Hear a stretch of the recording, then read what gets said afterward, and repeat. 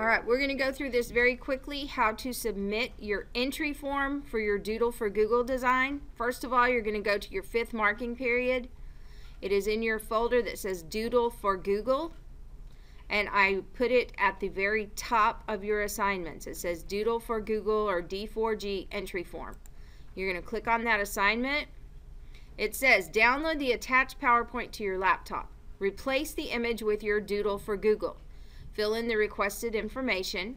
Save your completed PowerPoint as a JPEG image and attach your JPEG to this assignment where it says attach files. This is due today in class.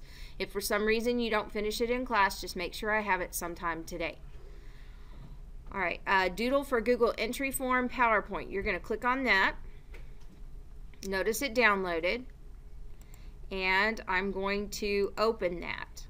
And I'm opening it on my computer, not online.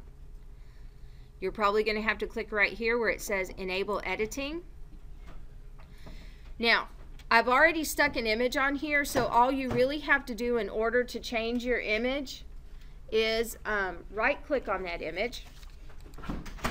And then it says right here, Change Picture. So when you want to change your picture, you can go find your file. It says from a file. So you're going to browse for whatever file you want. And I don't think I have any pictures saved on here just yet. Um, so let me see what's in here. And let's say you want to replace it with this picture right here. I'm just going to click on that picture and I'm going to insert it and it will change my image. Okay, it's that simple. Um, if I want to change it back to my other one, I'm going to go through how to change it again. I'm going to right click on it. I'm going to change picture. Now, I'm, I could have just clicked undo, but what I want to do is go through here and um, show you how to insert a picture there. There. All right. You right click and you change picture. That's how you fix that.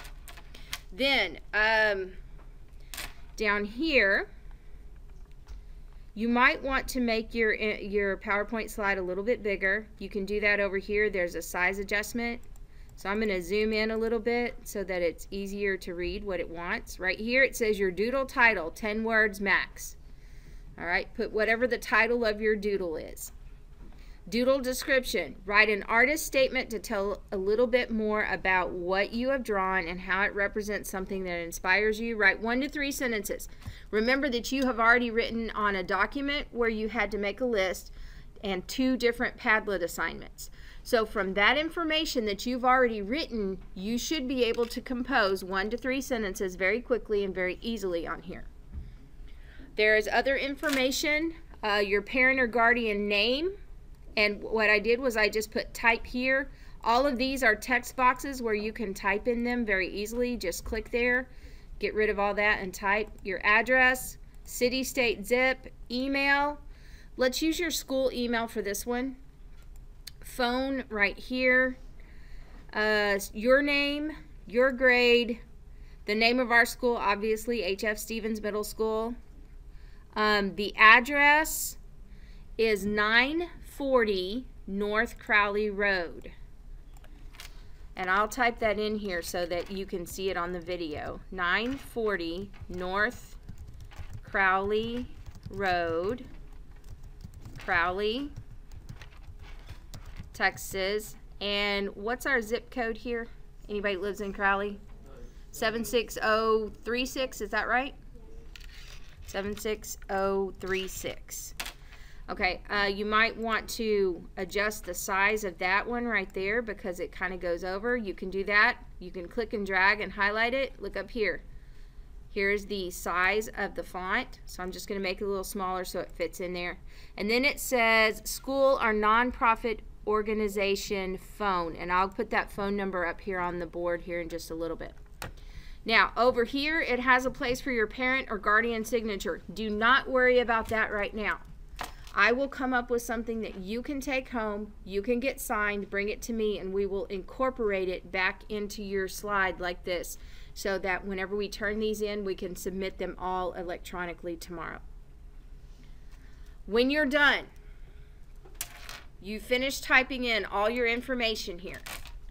you're going to come over here to where it says File, and you're going to do um, a Save As, because I want you to save it on your desktop where you can find it. And I want you to save it first as a PowerPoint. And when you do, I want you to add your name to it. If everybody types in there the words your name, you are going to be in so much trouble. Put your first name and your last name. All right, and save it as a PowerPoint on your desktop.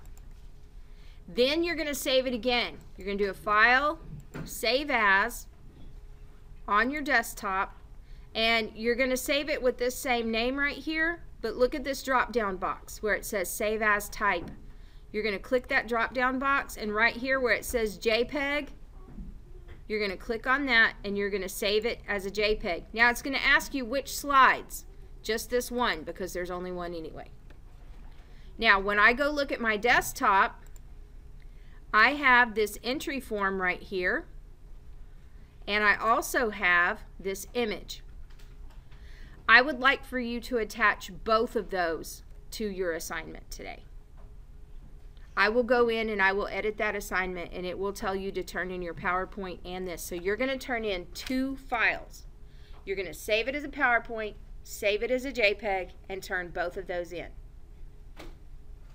All right, before I turn you loose to work on this, are there any questions? All right, then I am going to stop this video and you guys in here get to work.